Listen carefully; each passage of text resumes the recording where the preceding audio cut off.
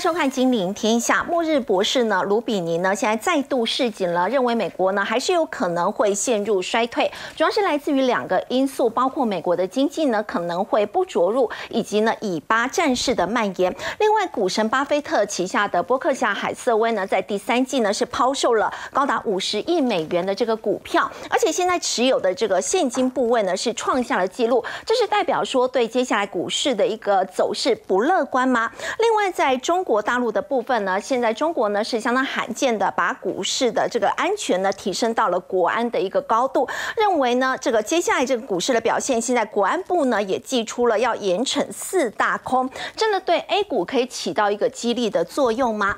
另外呢，美国的咨询巨头呢有两大咨询机巨头，包括盖洛普跟先锋集团，现在呢也纷纷要撤出中国大陆了，这也代表说外资撤出中国的情况到目前为止还在持续吗？另外，在台股的部分呢，今天有一度呢站上了半年线，不过在最后呢还是得而复失了。对于接下来的一个走势，到底该如何来观察呢？我们在今天节目现场为您邀请到台大电机博士张晴玉，飞宇好，各位观众大家好，资深分析师陈威良。大家好，资深分析师林有明，大家好，资深分析师纪伟明，大家好。好，我们先请教威良哦。美国的经济表现现在真的是所谓这个金玉其外而已吗？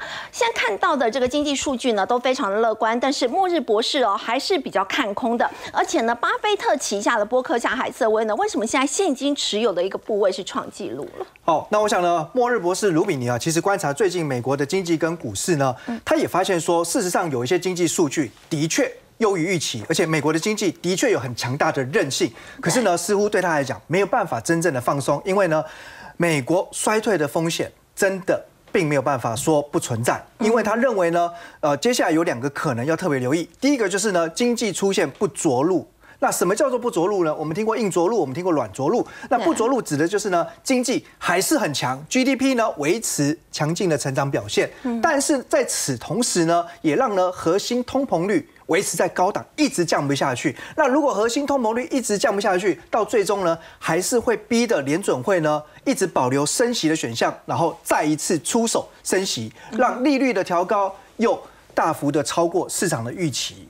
是，那所以呢，这样子的一个状况之下，对股市一定也会导致进一步的伤害。因为其实从今年的九月，然后十一月连续两次联准会的会议都没有升息之后，现在呢，其实可以说市场的声音已经有点一面倒了。对，认为就是说升息已经结束哦，那的的确确目前看起来是有比较高的概率。可是如果真的再次升息的时候，那不就是严重的啊高于市场的预期吗？那这个当然就会造成重伤害。那第二个风险则是呢，目前的以巴冲突。那我们知道以巴冲突发展到目前为止，好像对于全世界的金融市场。好像这个影响性也慢慢在递减，好，可是呢，他也必须呃提醒大家，万一蔓延到其他地区，尤其是呢，包括伊朗等主要的石油生产国，如果也卷入参与的话，那这个就会影响到油价可能会再飙涨五十趴。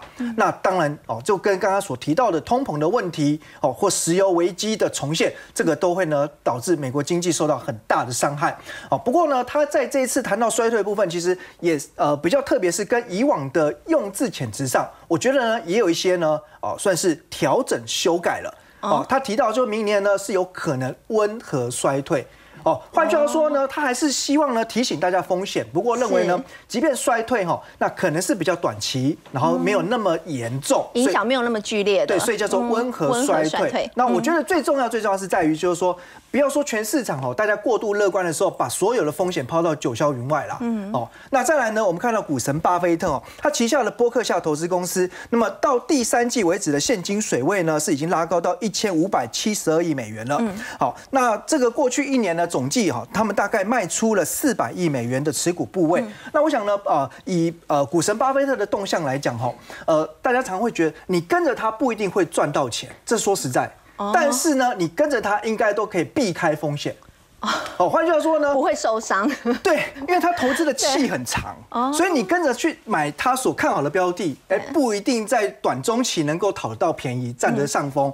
可是呢，哎，当他在卖股票换现金的时候，你跟着他呢，呃，你也持盈保泰，可能你会少赚一波，甚至少赚一大段，这个可能性是有的。嗯，可是呢，毕竟到最后哈，你往往可以避开股灾。那我们举例来讲哈，呃，股神巴菲特旗下的伯克夏哈，在二零二一年底的时候，当时他们账上的现金是创下当时的历史新高，一千四百九十亿美元。是。那当时明明哈，如果大家还记忆犹新的话，在展望二零二二年的时候，其实国内外都是一片乐观。嗯。结果二二零二年发生什么事，就不用我再多说嘛，就是股灾，就是空头来了，哦，就是大跌，所以证明了，呃，这个股神巴菲特是对的。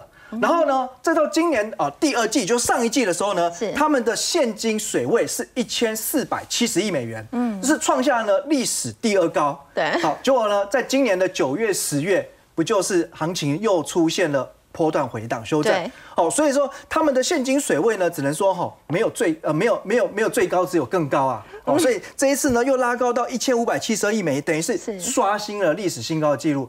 那那当然，我们是讲到这边就是有点。头皮发麻、毛毛的感觉啦。对，就想说留那么多现金，是不是接下来不太看好？正正正准备说迎接年底之前会不会有反攻？哦，但是这样子来讲的话，我觉得呃，大家还是要多一点风险意识，保护好自己，好，这是必要的。那再来哈，我们看到私募私募基金的这个黑石集团总裁葛雷哦，也是提醒投资人不要被目前表面上的这种经济活力十足的迹象所蒙骗了。好，为什么呢？因为他们做很多投资嘛，嗯，那他就看他自己所主要的这些投资标的的哦财报表现。他说第三。季营收虽然呢，呃，就年增率的表现来讲是有个位数的，哦，因为二零二年基期比较低嘛，是。可是如果我们观察季的成长率，就第三季去跟第二季比的时候，他发现呢，其实已经明显的有趋缓，甚至很多公司是走下坡，是衰退的。第三季不如第二季。然后呢，如果再前瞻一点哦，去看说，我们知道公司如果对未来营运有信心，或者说我的订单、我的产能哦，其实是哦。爆满的，那你一定会增加很多人力嘛？新员工。对，这个有时候好分析师也会透过一些人力银行网站去看看哪些公司股价有潜力。哦，那从这个线索来讲，他发现说很多公司哦，招聘计划都在减少。哦，在砍一些人力的需求哦，所以从他们投资的角度来讲，发现呢，哎，有一些呃这个产业或有些公司呢，其实也是开始呈现了营运趋缓的现象。那另外安联集团的经济顾问也提到说，哦，现在美债的殖率走高，哦，那再加上呢消费者的储蓄花用殆尽，这将会让美国经济承受压力。那我想这个就是呢，呃，重中之重的重点啊，因为呢。支撑美国第三季哦，这个经济有亮眼表现，其实关键还是在于消费。嗯，哦，可是呢，当他们如果储蓄都已经用完的时候，再加上呢，利率毕竟呢，你要讲降息，那可能是明年下半年以后的事情。哦，而且呢，初期降息的幅度也有限，那利率只要维持在高原期，它始终其实就会呢，构成在消费支出上面相当大的压力。还要，再请教微良，在中国大陆的部分哦，为什么中国现在很罕见的把他们股市安全现在已经拉高到了好像是国家安全的一个高？而且国安部还警告说，现在有这个四大空的这个，包括看空、做空、唱空、掏空者，在这个部分也提出了一个警告，真的对 A 股会起到一个正面的作用吗？哦，的确哈，因为金融安全就是国家安全哈。那呃，其实现在哦，呃，国家直接要介入，就是呢，要抓这些呢看空、做空、唱空、掏空的人哦。那这个当然也有点就是杀鸡儆猴的味道。好，因为呢，呃。中国股市向来就是需要呢，透过政策底打出第一个底，那后面才有接下来的包括技术底跟经济底来做呃这个后续的期望嘛。但是如果说呃现在所有的机构，尤其是外资机构，如果说你根据客观的经济模型，或者说我根据我所得到的经济数据，所以呢我写了一篇报告说，哎中国的经济哈，呃未来可能是比较疲软，或未来的股市还有下修空间，那这个就是看空者嘛。嗯，好，那甚至如果你的部位呢是做卖出或者说有空单的话，那这就做空者啊。那唱空者、掏空者，那这些现在被中国就视为是你就是呢国家的敌人哦，你就是股市的元凶。那你想想看，这个其实有一点就是把这种资本主义的呃所谓言论自由啊，或者是专业的这个精神，好像呢就把你。剥剥夺掉了，嗯，哦，所以这个其实会让不可以唱衰入股，对，这个会让很多呃外资机构不知道以后怎么样去啊经营在中国市场的业务。所以我们看哈，包括呢，哈，最近因为呃主管机关的强力介入，哦，那事实上哈，像全世界呃主要的资产管理公司之一的先锋哈，那最近他就宣布要关闭在上海的办事处了，哦，而且呢，之前他跟这个蚂蚁金服有合资投资顾问公司，哦，那也准备要退出。那另外呢，呃，来自于美国。的这个盖洛普，好，这个是大家应该都听过很知名的民调公司嘛。那我当然会客观做很多的数据调查，然后进一步统计分析。对，好，那比如说得到这些数据之后呢，假如你呃推论说，所以啊中国的经济表现呢也是走下坡，那他也认为呢，你是透过呢呃这样的一个数据，你根本就是在唱空嘛。嗯。哦，那所以呢，其实呃很多外商机构也不知道怎么去经营了，所以他也关闭在中国的业务哦。那当然现在中国哈，其实基本上就是把呃各家券商哦，它想要进一步整合。好，因为现在中国大大小小券商很多，那未来就是要推动的进一步整合之后呢，留下大的。可是呢，我觉得这代表还有另外一层意义，就是或许他希望哈这些外商机构啊，就是你你就不要来乱了哈。那未来这些大型的券商、本土券商哦，那或许他们写的报告哈，每一篇都是中国强、中国大，哦，他似乎就是呢要持续的哈唱多中国的牛市。可是我觉得那是呃多年前的时空背景，现在因为哈也适度开放之后，有蛮多的。外资的钱也在中国，所以一旦如果外资的资金还是持续的撤走流出的话，我觉得这个还是会形成哦拖累股市一个蛮沉重的压力。好，刚威良带我们看到，现在中国大陆现在国安部呢要严惩唱空者，不可以看衰入股。那么现在呢，会不会引发一些外资的逃亡潮呢？外企会不会也持续的在撤离中国大陆？要请教伟明呢，像这一次的这个中国的进口博览会。国务院总理李强呢，他声称说要依法保护外商投资权益，但很明显看到这次参加的台企真的很少哎，而且减少的幅度竟然高达了八成以上。那这个中国的进博会啊，是在二零一八年的时候开始，那后来因为疫情停办了三年。通常进博会一般来讲的话，只要有利润，我们这些中小企业基本上都很乐意去参加这一个展览。可是，在今年我们看到了，不单单是台商，我们甚至还观察到了欧洲的厂商在这里进驻的摊。位数量是大幅的下降，这个八十一 percent 是从哪里比呢？从第一年二零一八年的进博会开始去做比较，也就是台商只剩下二十家，哎，那原本呢，我们换算回去的话，在第一年有超过一百家的台商愿意去参加进博会的展览，结果到了今年只剩下二十家。那另外呢，欧洲企业呢也是从第一届的四十二 percent 降到了只剩三十二 percent，少了很多。对，所以这代表什么意思？代表大部分的这些企业去参加进博会的，好像只剩下中国大陆自己内部的厂商而已。是，那它其实也在暗示。了，说，哎，现在整个中国的经商环境可能没有这么的乐观，一定是因为他能从中国获得的价值在下降，他才不愿意去参加嘛。第一个，我们可以先来看一下未来嘛。这个中国有在去年还有前年的时候，哎，大家都讲了造车新势力，因为中国的电动车在放眼全球，其实他们的技术都仍然是非常顶尖，是 Tier One 的。嗯，可是呢，哎，我们发现了，连未来都宣布要裁员十趴。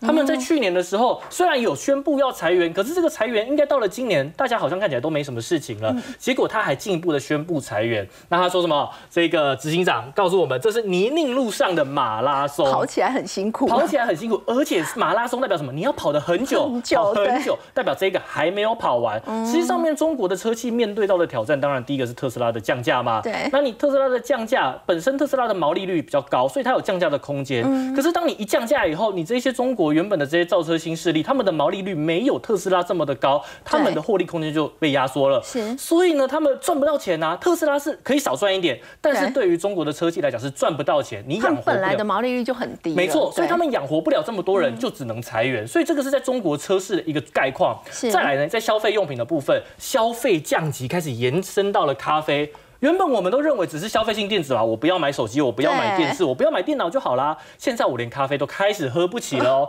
为什么会这样子讲？其实在中国，因为我有去上海交换过，那当时的品牌就是瑞幸咖啡刚出来哦。那个时候他们撒券是就是优惠券，撒的非常非常的猛，一折。两块钱我可以喝到一杯咖啡，两块人民币就一杯咖啡。没错，那所以它是主打一个低价的品牌。可是我们也知道，在中国像是星巴克也有嘛，星巴克本身的定位，它就是一个比较高单价的一个品牌。结果呢，这一些咖啡，哎，大家开始不愿意去消费这些贵的咖啡。哎，我有一个便宜的九块九的低块低价咖啡，我可以喝，我为什么要去买星巴克？哦，所以呢，我们观察到了，你连最基本的民生消费品都已经开始出现了消费降级的时候，这个国家的消费的层面一定就。就是开始疲软，所以呢，当所有的咖啡店都开始内卷，你低价咖啡可以说我卖九块九，我卖五块钱，你很多的这些独立咖啡啊、星巴克啊，你的这个单价这么的高，你没有办法降价来去应对的时候，你怎么办？你只能倒闭。所以中国从这个算到十月二十九号的时候，已经倒了四点四万家的咖啡店，倒闭加速很惊人。没错，所以很多的咖啡店，这个是坐落在民生需求里面。那这一件事情已经彰显出了中国的消费降级是一个很严重的问题。再来，房地产也是一样。对，房地产呢，其实大概从前年年底的时候就开始一路爆。那这一个万科算是在中国一样是 Tier One 的一个房地产的厂商，那它面临到的是一个大家担心它会不会违约，因为它有很多的债券已经准备要到期了。正常来讲，它这个债券的价格应该要跟它的票面的价格要开始收敛，可是实际上面呢，它这个利率还是差非常的多，代表大家担心它会违约嘛。他会他会违约，所以说我才不愿意去买这个价格。所以呢，他现在开始说，哎，我们呢要在六月号的时候召开一个线上会议。他找来了公家的部门、公哎公部门的单位，找来了银行的单位，他们就类似要开一个像是台湾的法说会一样，他要来说明万科现在到底在中国这里的状况怎么样。但实际上面你到底会不会违约？等到债券到期那天，你付不出的，哎，你付不付得出利息跟你的本金，我们再来再来讨论。所以碧桂园之后，万科也出事了。没错。所以我要请教伟明哦，中国你刚刚提到这个经济非常的疲弱。包括连一般的民生消费都开始出现降级了，现在是不是连航运业哦的景气都因此被冲击呢？因为现在马士基哦在全球竟然要裁员上万人呢。对，那因为我们可以观察到这个，我们等下可以再连接回来中国谈。那马士基在十一月三号的时候啊，公布了他们最新的获利数字，利润年减九十四趴，几乎就是已经没赚钱了。对，那这个时候呢，你除了利润不够以外，你赚不到钱，你还要再裁员至少一万人哦。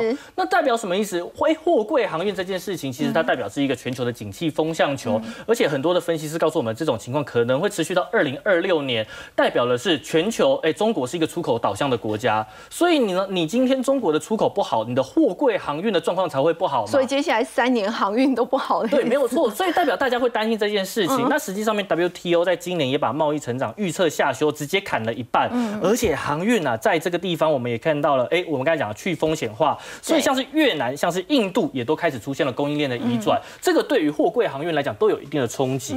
那我们观察 SCFI 运价指数，这个是蓝色这条线，大家会发现跟台湾的航运哦的营收哎是亦步亦趋，哎对，走势很像。没错，所以我们可以看到了说这个 SCFI 运价指数还在谷底，所以呢我们可以看到台湾的这些航运的营收当然还是起不来啊。那大家在意的是，哎这一最近看起来好像货柜航运的股价有反弹，那我到底是要买还是我要卖呢？我们从基本面来看，其实现在的这一个长荣的营收。哎，目前看起来好像已经回到了疫情之前哦。对，它要回到过去的荣景，我们在现在看起来是看不到迹象的。所以它在未来大概就是这个样子。虽然股价看起来近期有反弹上去，这个我们把它还原回去了，股息呢我们都还原回去。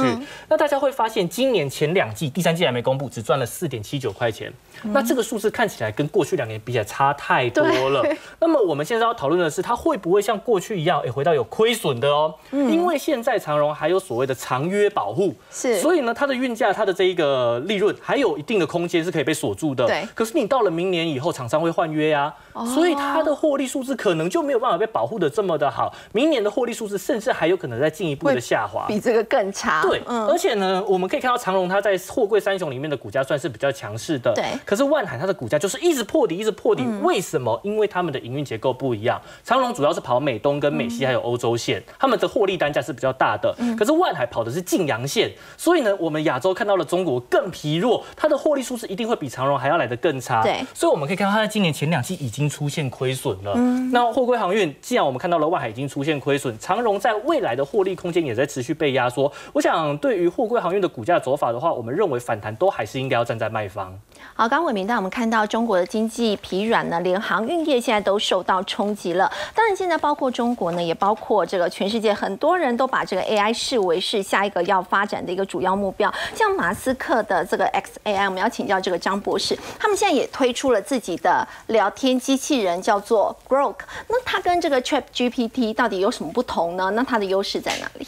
好，因为其实 Elon Musk 他其实在前几天刚推出来这个最新的这个号称是 XAI 版的这个 ChatGPT，XAI 就是他因为在那个前两三个月、三四个月前。因为他自己成立新的这个 AI 公司，就叫 XAI 公司。那他这么快在三个月左右的时间就推出这样的一个聊天机器人，那其实呢，真的也是有一些特殊的地方。我们先讲他大概应大家一般所熟悉的这个聊天机器人，就是我跟你是用这个问答的方式，我问你一个问题，你回答一个，你就对应的这样的一个回答。那他基本上来讲，他说，哎，任何你问题问他，他都可以回答你。那为什么这个呢？甚至呢，哎。你有时候不晓得我该怎么问，他还告诉你，他会建议我们说，哎，我可以怎么问这个问题比较好一点点。是有时候他反而还会教你怎么问比较好。这第一个。那再来讲就是关于他这个的这个训练的资料库的部分。那我们都知道，Elon Musk 他也收购这个 X，就是 Twitter。那 Twitter 大家都知道，它其实的整个里面的内容文的整个的这个资料风格，其实哎。先前也爆出一些所谓的大家的一些争议性，哎，可能我有什么样子的想法，我就马上丢上去，所以大家比较敢讲。对，然后而且什么事情都是最新的讯息，反正我们要看很多事情最新的讯息都是在推特上面看。嗯，所以呢，他基本上来讲就把推特的这个资料库拿来做他的训练的资料库。嗯，所以呢，他是透过 X 平台就 Twitter 来了解这个及时了解这个目前全世界最新的状况。你可以在你可以问过。说，哎，目前全世界最新的状态有什么样子的问题？有发生什么样的的任何事情都可以问他。那再来讲，就是说，呃，他在这个回应的时候，他针对特定的主题，他可以提供一些最新的，就像我们刚刚讲，有些新的资讯，反正是在推特上面看到的。再来，这个是更特别的地方，他号称他有幽默感，有幽默感。那这幽默感来讲，就是我们举个例子来看，因为目前全世界的 AI，大家对于这个所谓 AI 都有一些顾虑，那所以也做了一些防范防范。那如果今天有一些关键字是有问题，或者是非法，甚至是比较敏感性、比较敏感的东西的时候，那一般的聊天机器人它可能就不会回答你这个、这个、这个。觉得哎，我就无可奉告这样，不好意思。那但是呢，Twitter 它就有啊，这这个 Grok 它就有它的这样子的一个独特的风格。譬如说，就有人问他说，哎，那我可不可以我怎么样制作这个海洛因？哦，哎，那一般机器人说，哎，这个问题我不能回答你。可是呢，这个 Grok 它基本上是有回答你一二三四的步骤。所以毒品的制作方式还是告诉你。对，告诉你。但是你仔细看，其实最后他告诉你说，我只是跟你开玩笑。哦，而且他有提醒呢，他说这是非法，而且是非常危险，不会鼓励这样是，那你真的仔细去看他这里的步骤，其实真的也不是真的步骤，所以还 OK。那再来另外一个部分来讲，就是哎，先前这个 SBF 的这个币，这个加密货币的这个新闻，其实炒得很大。那他也针对了这个部分，就像就像 Twitter 上面以前 X 上面有些人就会开开玩笑讽刺别人，就有一个就是很多所谓这种人的个性风格在里面。那其实。他也号称在，因为他是拿这些资料来做训练，所以自然而然也产生了这样子的一个所谓，他号称这个一个幽默感的部分。那再来来讲，有一个可能的部分，就是后续有可能会应用在最新的这个 Tesla 的这个车子的这个系统上面来用。其实他们官方自己说，这个 Growth 的个性是有一点聪明，有一点叛逆，而且可以回答其他 AI，会避免回答这个尖锐问题，所以它是比较有个性的 AI 嘛？是，它是比较有个性的 AI。然后呢，其实我们可以再来看它的这个这个最新的这样子的一个呃。参数的部分，嗯，那这个参数的部分来讲，我想我们大家都知道，这个最有名就是 GPT，就 GPT 三点五跟 GPT four，对，那这个是呃，这个是呃，Grok Grok 官方所推出来测试的结果，那它也比较客观的说明说，哎，它其实不是第一名。哦，Grok 基本上最早出来的时候是 Grok 零 Dash 零跟 Dash one，嗯，那目前是 Dash one 的版本。哦，现在是 Dash One 的版本。对，那我们先来看左边的这个部分。左边这个部分来看来讲，国当初刚开始出来的时候，它的这个参数是三百三十亿个参数。哦，OK，那它跟它旁边的这个参这一个 Meta 的 Meta 的这个 Llama Two 的这个模型，基本上来讲，我们从这边结果来看，不管是你问所谓数学问题，或者对语言的了解。或者是对城市代码的一些理解上的这个部分来讲，它其实整体的能力其实都跟拉马兔差不多，差不多。但是他们是这个参数是少了一半哎。是，所以其实这个部分来讲，我想这也是这个。这个 XAI 觉得很自豪的地方，就是说我运用的这个训练的这个资源，我只需要你的一半，对，我就可以达到跟你差不多的结果。那这个在对于它后续上，包括说整个模型的生成，或者是说在使用上来讲，大家都对于说现在 AI 的这个伺服器。运算的时候需要很多的能量，但是要追上 Chat GPT Four 好像还是有一点距离嘛。是，那目前我们这边来看，这里大概六成多，这九成多，当然还是有有这样的差异。嗯。但是大家不要忘记，它这个只是三个月。嗯可是 Chat GPT Four 基本上已经相对来讲，这个开发时程已经长很多。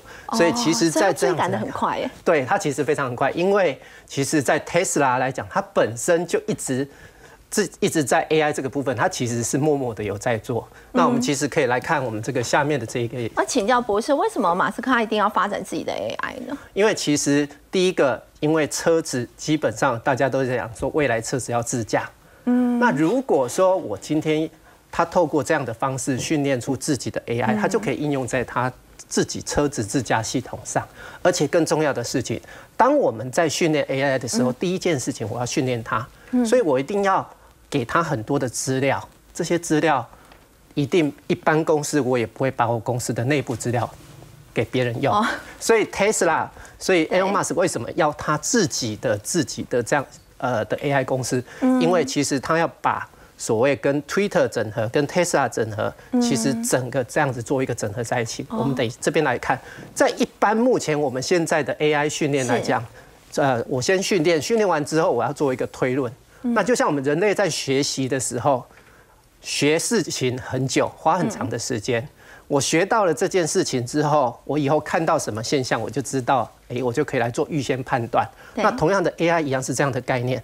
那这样子的一个这样的一个步骤呢，其实目前我们现在所有的 AI，不管在训练。或者是在推论、在预测这件事情，基本上讲都是在云端。嗯，所以呢，导致一个问题就是，我们现在在问 Chat GPT，嗯，那我我们会发现，我们问的问题，它可能隔一下下、隔一隔个几秒钟才告诉我们答案。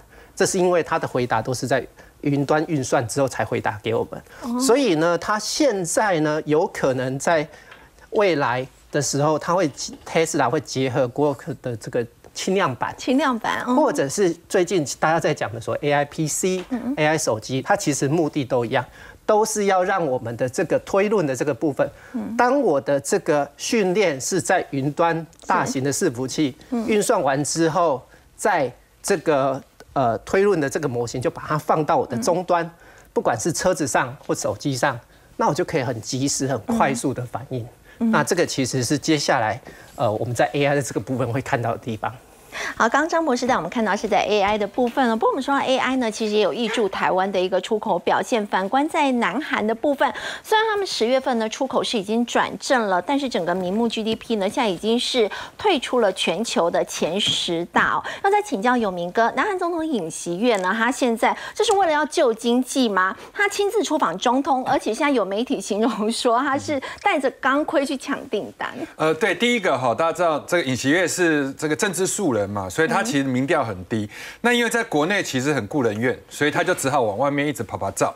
那你看他在任内的一个期间里面，第一个他改善跟日本的关系，然后第二个的话，他已经开始在中美这边，他已经开始选边站，他是选到美国。那接下来的话，因为他丧失了一个广大的中国市场，所以这里的话，他去想到另外一个中国可能进不去的地方，那就是沙地阿拉伯、沙特跟这个卡达。那为什么呢？因为中国是亲伊朗的，伊朗亲中国，对，但沙地阿拉伯跟这个伊朗又不对盘，所以呢，也就是说这个地方敌人的敌人，那当然就是我的朋友。好，所以韩国切进去就有，所以韩国现在跟这个沙地阿拉伯里面，现代汽车跟沙地的主权基金在合资。各位要知道，中国的电动车其实做得非常好，那韩国也是它一个很大的竞争者。两边如果都要去抢沙地阿拉伯，沙地阿拉伯搞不好会去选韩国，所以韩国在这个地方的话是比较有机会。所以现在的尹锡悦呢，就有史以来第一次亲访沙地阿拉伯，利用它比如说建交六十周年跟卡达建交五十周年，所以现在看起来的话，就是想办法。要去把中国失掉的那一块市场啊，不管人家到底喜不喜欢你，反正你就先赶快带着钢盔，在这个所谓乱局的一个里面，大概就是博感情，然后 看能不能在这个时间点里面去抢订单。那韩国的其实状况蛮惨的，各位可以去看，这是韩国的一个这个指数综合指数，这一条橘色的线，好，橘色的线其实是他们的年限。那各位你要知道，我们现在其实我们的指数是站在年线以上，对，我们这次再怎么跌也没有跌到年线，跌破年线，对。但是其实韩国跌破年线很深，所以它这个地方呢，借由禁空令的关系啊，在今天涨了六五点六趴，而事实上的话，其实也不过才还没有回到年线而已。那因为他们整体来讲的话，状况很差，所以我们就来想想，它到底为什么状况会这么差？对，第一个我们看它哈，因为早期的时间点它。辖中国广大的一个市场，它才有办法在这个 GDP 的这一块的话，占到全球的一个前十大。那各位可以去看最新的一个数字公布出来，我们看下一章的部分。它现在已经跌出前十名。对，韩国现在是十三名哈，那它的这个数字啊，二零二二年的数字又比二零二一年更降。然后呢，它的名目的部分是一点六七兆美金，只是说有点可惜，因为如果就韩环来讲的话，它其实是成长。但是因为韩元在贬值，所以贬值的关系造成它明目的 GDP 落后于澳洲、落后于巴西，掉很多。但是你说它未来会不会有可能再重新回到了十名？我跟各位讲，就像变了心的女朋友一样，我认为回不来。很难吗？很难，回不去了。对，主要就是我们刚刚讲到一个非常大的前提，你之前是利用中国的高成长。而且中国在这个地方的电动车也没起来，然后再加上半导体也没起来，所以中国享受了你的手机、半导体跟汽车。可是现在这几块的话，中国因为民族情怀的关系，电动车也起来了，手机也自己用了，半导体你有没有比我好？对，所以在这样的一个情况之下，它这块市场补不回来。那我们现在来看一下南韩啊，我们给各位科普一下，南韩的人口大概是五千一百多万人，那他们有很大的一个广大的内需市场，它跟台湾最像的地方就是出口为导向，但是它又跟台湾有点像又不太像。好，各位要知道，支持南韩总共有五大核心产业。第一个是半导体，比如说它的记忆体的部分，哈，或你看到的三星。第二，汽车、钢铁、造船、电子，电子这里面包含家电跟信息通信，包含手机。哈，那五大核心产业里面，它不是很平均的，像台湾一样分散在各个中小企业或者是中大企业，它是集中在四大财阀里面，三星、现代、SK、LG、乐金这四大财阀基本上是一龙俱龙，一损俱损，也就是如果我状况好的时候，我就把整个南韩撑起来；但是如果我只要其中有几家状况不好的话，我就把整个南韩给拖垮。所以四大财阀里面，我们就举个例子，三星的销售额就占南韩的 GDP 百分之二十二，这个集中度非常非常的高。所以这件事情是也好也不好。对，那再来我们看一下，南韩其实跟台湾很像，就是它也是一个能源的消费国，也是能源的进口国，它没有办法自己产生能源消费要依赖进口，百分之九十七要依赖进口，这个跟我们台湾很像哈。是钢铁是它唯一还 OK 的部分，钢铁它的浦项钢铁等等都很好，也就是因为它钢铁好，才有办法支撑它的所谓的汽车跟造船。那这一块是它可以出口的部分哈。那南韩还有一个可以出口的部分呢，基本上是什么？就是石化业，石。石化业的原油是靠进口，但是它做出来的东西，包含像蔚山石化跟利川石化，却是一个很大的一个出口来源。这一点跟台湾来讲的话，有点像。台湾虽然它的实力没有像它这样亚洲前两大，但是台湾至少我们也有六轻啊，我们有台塑啊等等啊。那它的造船就比我们台湾好，因为它有这个现代重工、三星、大宇等等。好，我现在要讲一个最重要的地方。它是一个完全没有办法粮食自给自足的国家，这一点大家完全不知道。比如说，我们看韩剧里面，我们都看到什么炸酱面啊，我们看到一个什么大根啊，或者是豆腐汤。跟台湾不一样哎，完全不一样。它资源非常的稀缺，现有的耕地面积一千八百三十五点六千公顷，百分之十八点四是人工地，但是它是全世界人均耕地里面面积最少的国家，大概算得出来排名前面的。所以你知道它的大米薯类自给自足以外，大部分都要进。进口水果也要进口，肉类也要进口。好，我们拿它来跟日本比，你看哦，日本如果说今天假设物价是所谓的日币不再贬吗？他们不是有进口性的一个通膨？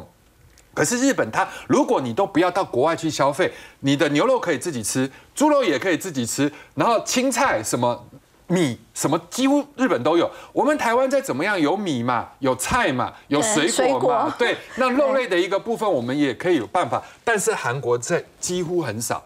所以韩国受到通膨的影响就会非常大，尤其是韩环只要一贬的时候，其实他们的民生物价，包含炸酱面的一个价钱就会非常非常的高。然后再请教有明哥，大家都说台湾跟南韩产业的同质性还蛮高的，很高。如果台湾跟南韩相比的话，你觉得谁的赢面会比较大？当然台湾会比较大，因为我们说过 GDP 它的简单的计算方法是 C 加 I 加 G 加 X 减 M，好，那 C 是消费。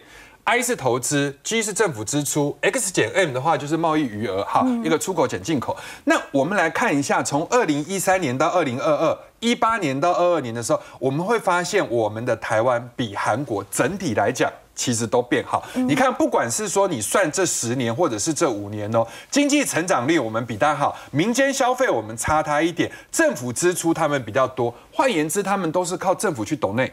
包含政府去供应所谓的节能啊，或者是绿能啊等等的哈，但是问题是固定资本的形成里面，我们打它非常多，所以我们愿意投资，他们没有愿意投资，他们民间企业不投资，所以他们状况不好。好，我们再来看这个这个进出口减进口的部分，我们也比它强很多，所以整个目前这样子看起来，它我们的结构体比它变好，因为我们的贸易这一块。也比它好，我们的固定资本至少台积电啊，或者是你去看到，那台湾跟呃韩国里面大概分几个回合，从一九七零到一九九零年的时候，在亚洲四小龙的时候，我们比较强，因为我们就是整体就离那个手提箱，我们就可以到中国大陆去做了。好，那他们就是发展重工。第二个回合两千零四年的时候，给他们发展起来，因为他们亚洲金融风暴，整个就是变成全部都整合。那因为在整合的一个过程中，你全部变成这么大，那你就复兴的快。那我们台湾没有那么快，没有整合的那么多，所以我们台湾各个零零星星的，所以我们第二回合输他。但是也好也坏，第三回合里面整合就出了状况，财阀化之后，就造成他们的经济未来有非常有可能真的就不及台湾。好，我们先休息一下，稍后来关注的是呢，以巴战争以来，因为避险资金的涌入，其实比特币在一个月已经大涨了超过两成的幅度哦。台湾现在有老字号的公司呢，现在都要来抢这个加密货币的商机。我们先休息一下，稍后来关心。